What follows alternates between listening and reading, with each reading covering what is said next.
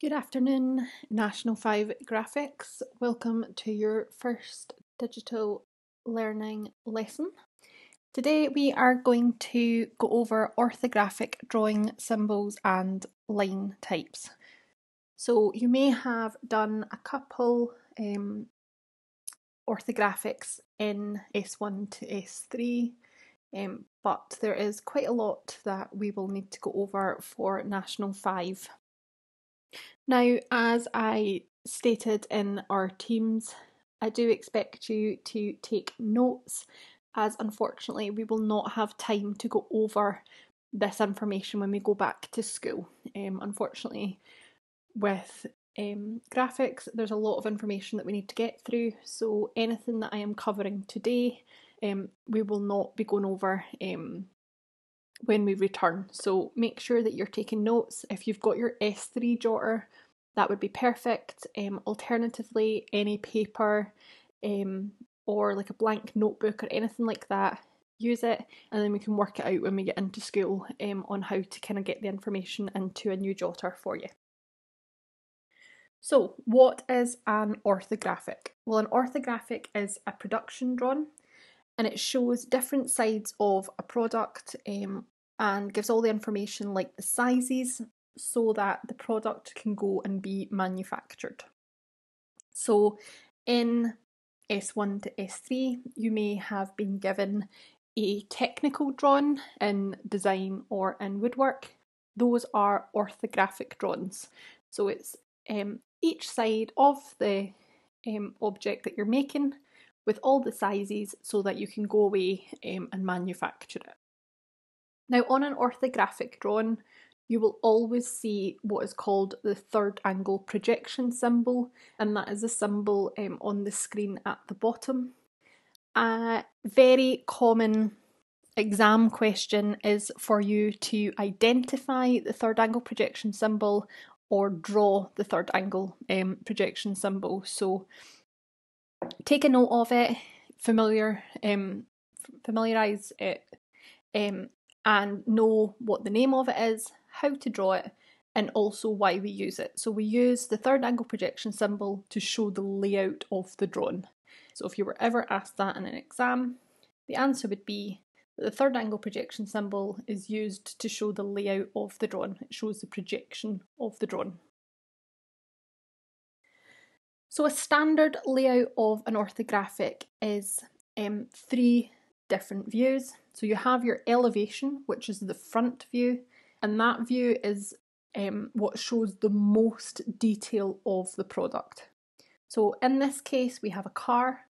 Even though the front of the car you would think would be the front view, the side of the car actually has the most detail. So that is why that is our front view, that is our elevation.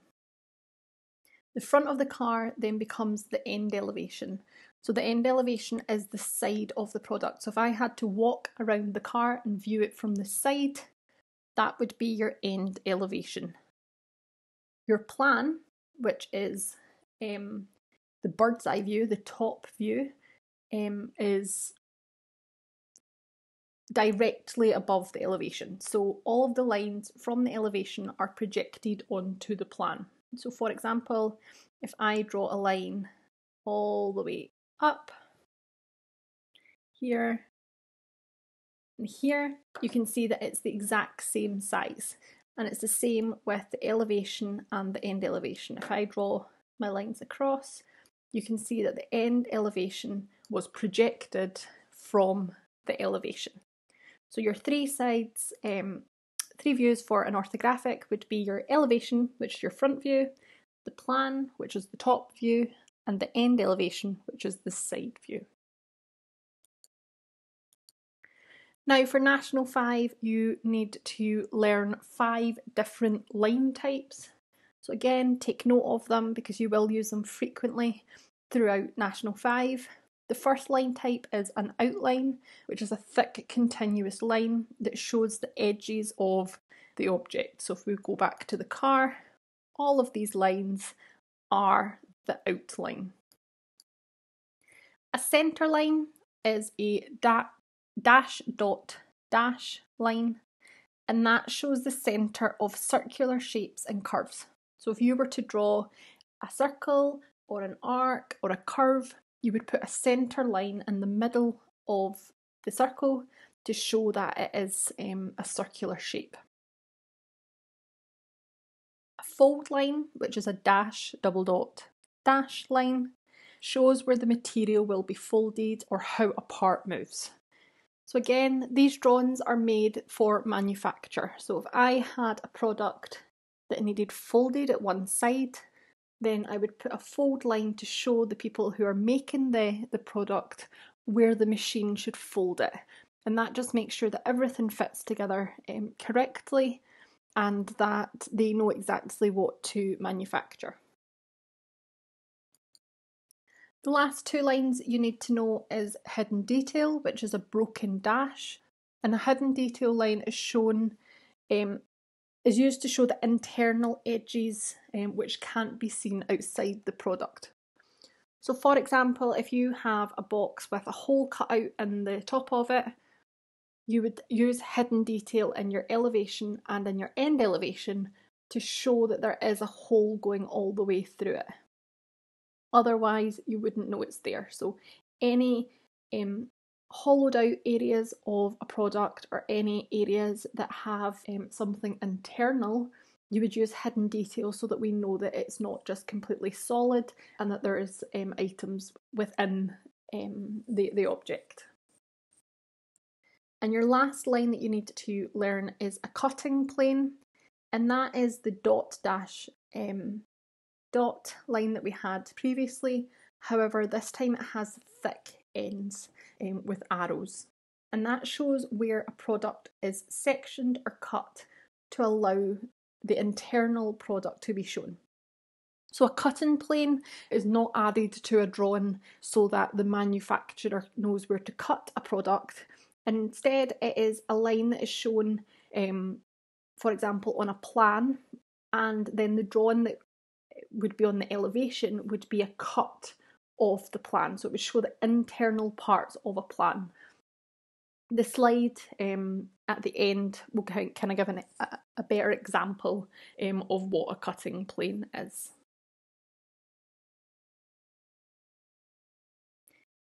Now, on every single production drawing that you produce, you need to include a title block.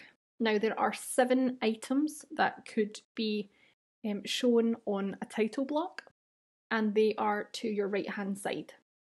So we have name, which would be your name, we have the date, we have the scale, we have tolerance, we have the drawing number, we have the phrase all sizes in millimeters, and then we have our third angle projection symbol. Now, the only item that doesn't apply to you in your assignment, so the only item that can be left out is tolerance you wouldn't be expected to include that in your assignment, but it is one of the seven items that you could give um, in an exam kind of question.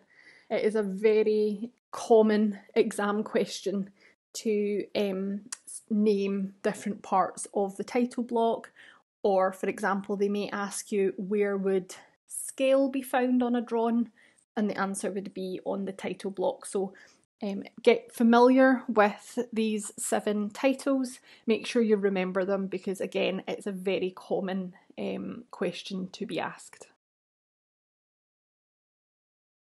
Now, the scale is the ratio of the size of a part um, or the drawing. So, in your title block, you have scale. Scales influenced by either the size of the paper, the size of the product, or the amount of detail required. So if your scale is one to one, then the drawing is the exact same size as your product. If the number on the left hand side changes, then it means that the product is five times bigger, or sorry, the, the drawing is five times bigger than the product. So, for example, if I was going to draw an orthographic drawing of a house key, Obviously the house key is quite small in size, so I would want to scale um, maybe 5 to 1 so that my drawing is 5 times bigger than the actual key itself. If the number on the right side changes, then the product has been reduced in size. So earlier we've seen a drawing of a car. Obviously the car's too big to do a one-to-one -one scale, to do it the exact same size. So we need to scale down the size of the drawing, um, sorry, the product to make sure that the drawing um, fits the paper. So for example, I'm drawing my car, I might do a scale of 1 to 20, which means that the drawing um, would be 20 times smaller than the actual car. Now the last thing that we're going to cover in orthographics is sections. Section drawings are identified as there will be a visible cutting plane and a hatched view. So previously we discussed the cutting plane line and you can see that that is here on the on the drawing. So section drawings are used to show how parts may fit together or to see the internal parts of um, the product. Now, we would use what's called hatching lines, which is these diagonal lines here, and that shows that that material is solid. So this line here shows that we've cut halfway through it. So all of this is solid, and then we've got areas here for our circles um, to show that the ho- there, there are holes going through it. So we wouldn't hatch the holes because they are not like the solid part of the material.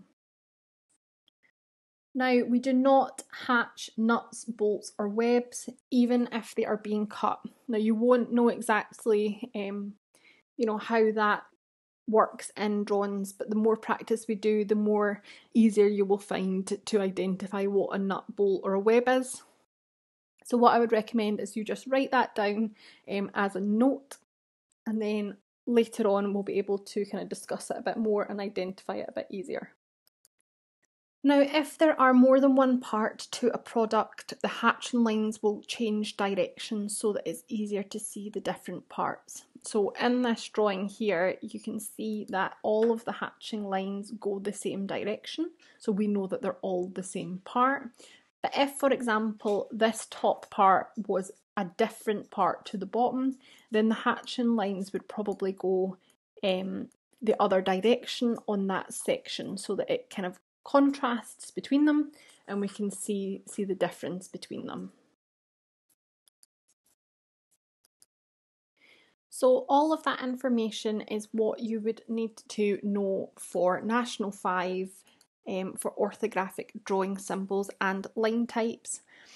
Um, during this week, so Monday 12.45 to 2 and Wednesday 12.45 to 2, um, I would expect you to write down your notes for the slides, the eight slides that we have today, and also fill out a worksheet that can be found on Teams files that has some questions in relation to the information that we covered today. Um, so this week you've got nearly three hours um, to take a note of all the notes and fill out the worksheet. If you have any questions or any concerns, please um, either at me in the comments or send me an email. Otherwise, um, I will speak to you next week.